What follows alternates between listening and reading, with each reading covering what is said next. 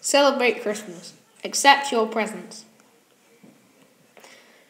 Uh, so I'm willing to offer you this incredible house for free since it's Christmas. No, I don't like it. It's horrible. Oh. Deal with it.